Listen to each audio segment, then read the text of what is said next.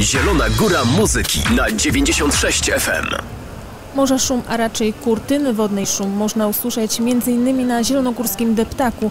Wodociągi miejskie tradycyjnie już postanowiły pomóc mieszkańcom naszego miasta w przetrwaniu upałów.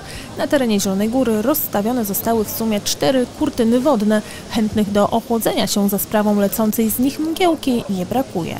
Słońce daje trochę, więc y, na pewno się przyda. Przechodniom tutaj ochłodzi trochę. Chłodniej, przyjemniej? Chłodniej, przyjemniej, można się orzeźwić trochę.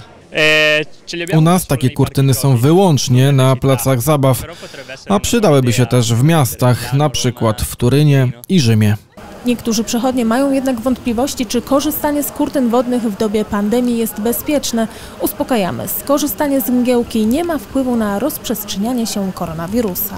Ta woda pochodzi z sieci e, wodociągowej. Ona jest uzdatniana i dezynfekowana i w żaden sposób nie przyczynia się do jak gdyby rozprzestrzeniania zakażeń.